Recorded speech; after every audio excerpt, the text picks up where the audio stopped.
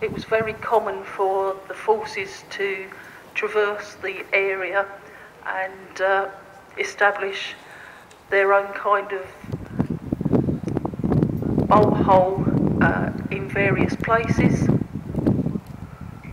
So Richard has decided that it's a very strategic idea to try and get his forces into this area and unknown to him Salahadin's men have had word of this baggage train coming through and as I said they are laying in wait to ambush Richard and his men.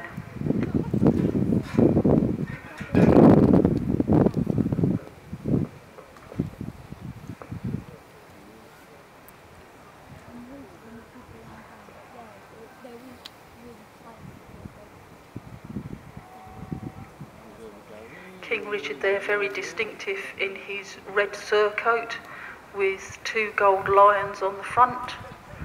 Also his shield also bearing the same distinction and arms. Heraldry in those days were very much a way of being able to distinguish which group that you were belonging to and the banner was a very important item because rallying point uh, during times of retreat or at times when it was necessary to regroup and reinforce.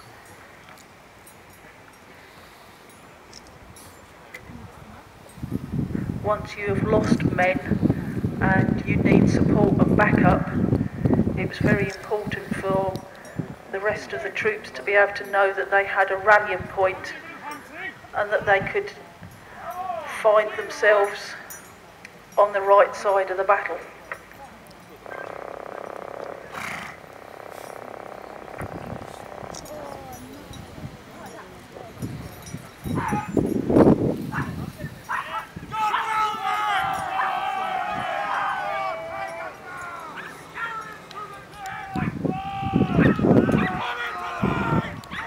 Salahadin has obviously spotted Richard and his small band of, of knights and have sent forward his lightly armoured skirmishers to make an engagement, whereas Richard's forces are very cohesive, well trained, and will fight in formation. Salahadin's men are very loose, very lightly armoured, and will attack from all sides. Looking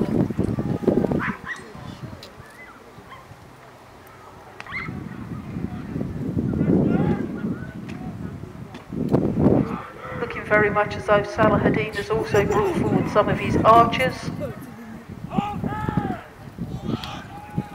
To have uh, a storm of arrows raining down upon you is quite a terrifying experience. But Richard's army was well used to this and would stand their ground, defending themselves and the man along to their right hand side. It was all about keeping cohesion, keeping together as a force, defending yourself and the person to the right hand side of you.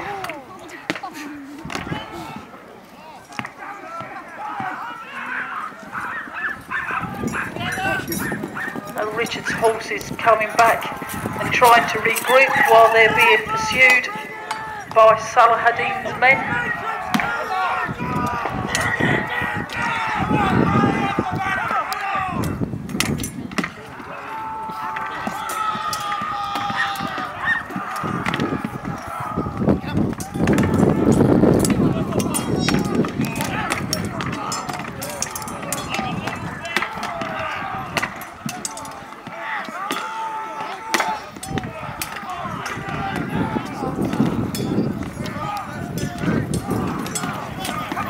just for the moment it seems to be that Richard has the upper hand. He has the greater number of men in support of him.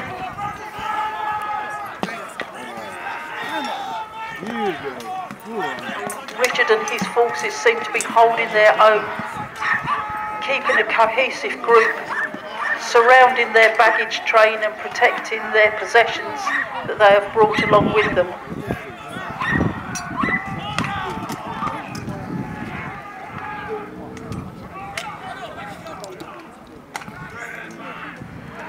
Sometimes the idea of these small skirmishes were not always entirely to kill every last man standing, but it's a show of power and strength. Sometimes the, the better way of defending yourselves was to parley with your opponent because very much of the time it was thought that it was a very unchristian thing to do to kill and slaughter people. So if they could broker a peace, parley between the two leaders and bring about a more peaceful outcome, then that's what they would strive to do.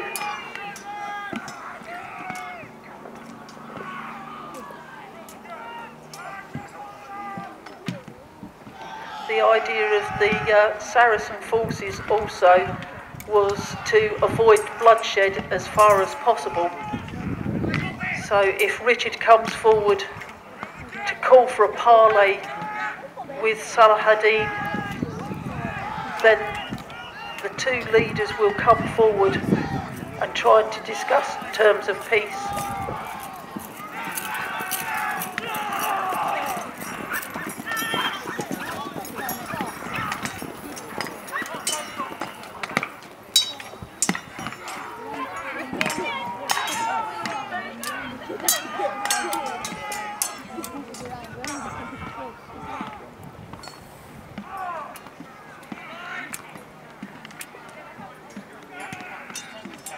Richard has seen that his men are tiring slightly and that uh, the, the battle doesn't seem to be going very well in his favour at the moment. So it may be at this time that Richard will seek to come forward and try and discuss some kind of peace terms with his opposite number, Saladin.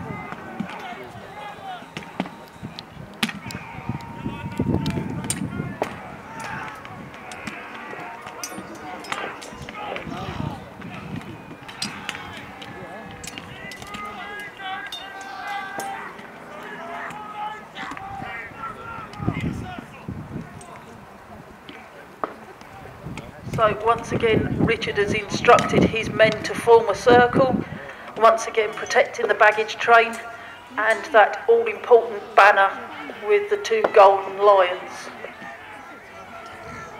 To lose your banner on the battlefield was uh, a, a great disgrace. So the longer you could hold your banner as your rallying point for your forces, the better chance that uh, your backup army could come and support you as your men fell by the wayside, either wounded or perhaps even killed outright.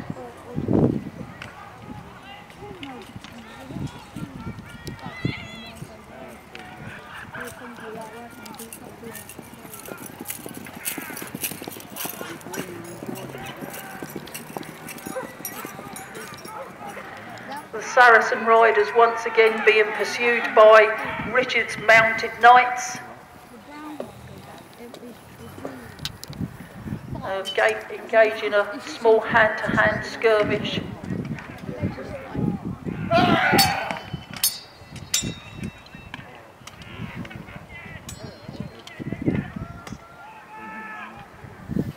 Any kind of combat involving horses doesn't usually have a very good outcome because the horse, the outcome of the battle is determined very much on the behaviour of the horses.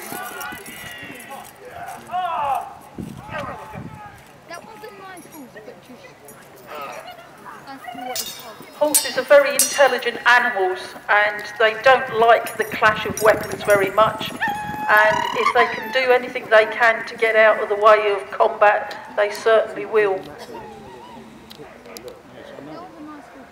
More intelligent than human beings sometimes, if you ask me.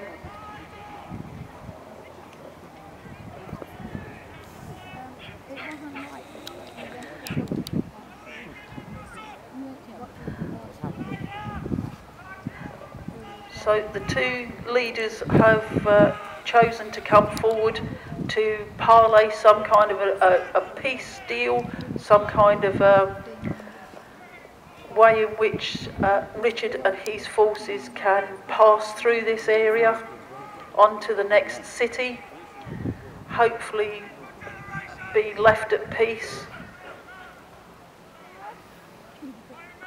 But sometimes these parleys do not go very well, particularly when one side is determined that they are going to protect their own people and that they don't want any interference from any other outside forces.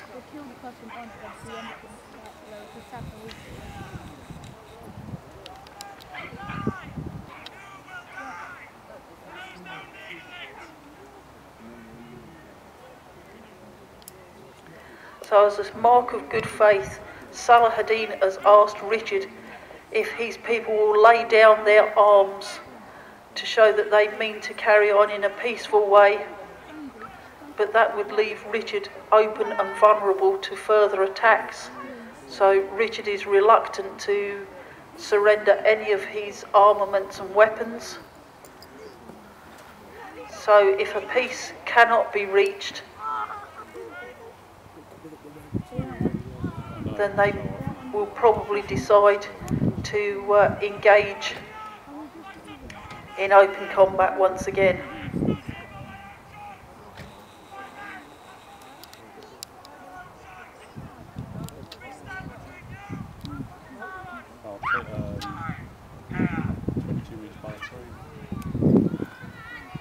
Saladin has said that they are determined to hold the area every man has vowed to fight until the death if necessary. So Richard will not get his peaceful transit through this area to the next city.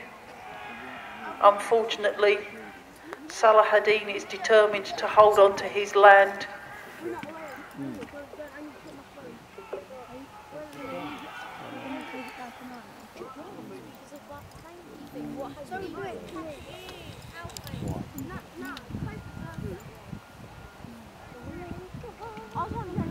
As in many times of war, there is often peace talks brokered, and if both sides cannot agree on peace terms, then it's back to open warfare.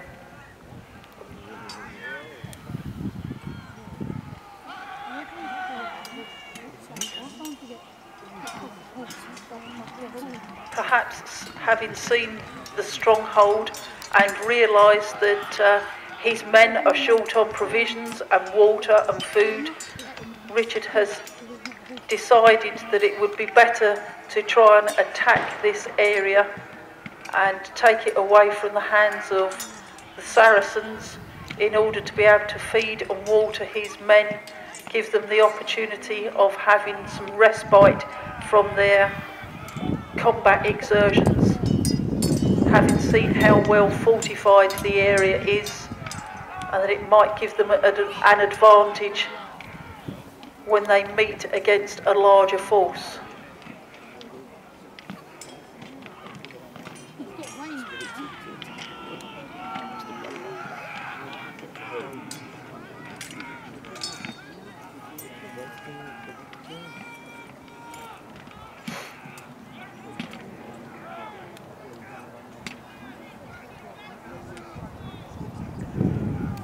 Both sides now are falling back to regroup,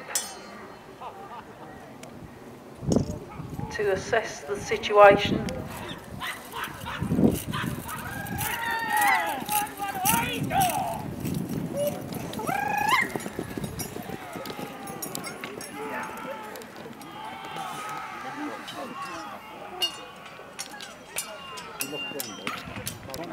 With Richard and his men coming forward again attacking the Saracens.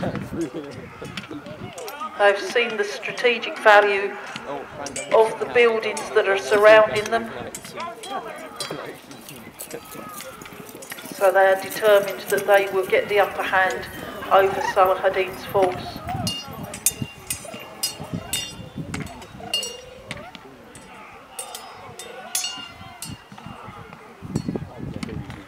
Might have noticed, ladies and gentlemen, the difference in the fighting forces and the way in which they are armoured and the weaponry that is being used at the time. Salah ad-Din's men favoured small shields, swords for close-in combat, which was very effective. Also, during this period, archery proved to be a great defensive weapon against the Western forces. No matter how well armoured Richard and his men are, and many of his knights are wearing chainmail and very sturdy steel helmets, arrows usually have a way of finding their way into the smallest chink in anybody's armour and with enough force behind the arrow being launched, they can penetrate through and inflict rather nasty, serious wounds, if not actually causing somebody to be killed. So different tactics called for different types of weapon and armoury.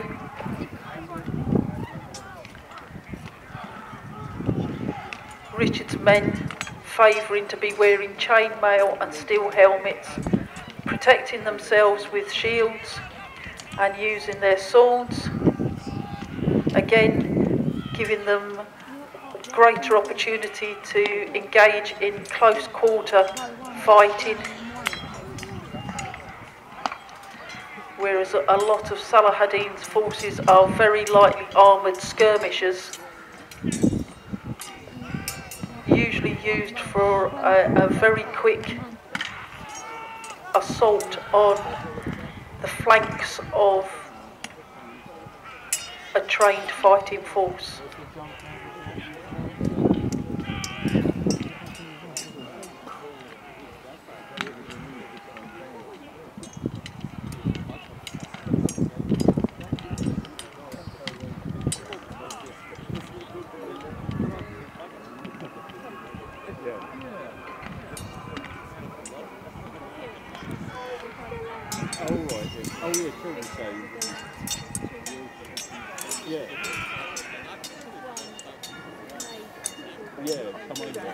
It was often quite a strategic tactic to have your banner and wagon train in the centre of a circle. Your back is protected by those on either side of you, and by facing out, you can meet the opposing armies coming towards you. Not a tactic employed in this day and age very much these days due to the fact of being able to use uh, long range weapons. But where you were engaged in hand to hand combat in these days, it was very effective to protect your army by forming a circle around a strategic area, such as a bag baggage train.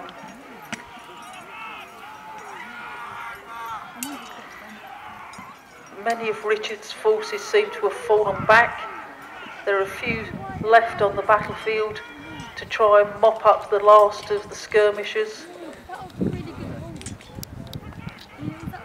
Sometimes the better part of valour in those days was to actually retreat and be able to regroup and maybe meet up with reinforcements for a better way of being able to engage the enemy. To take the retreat was by no means a sign of cowardice in these days, but a means of being able to resupply and reinforce your troops to also give the men, the horses, opportunity to rest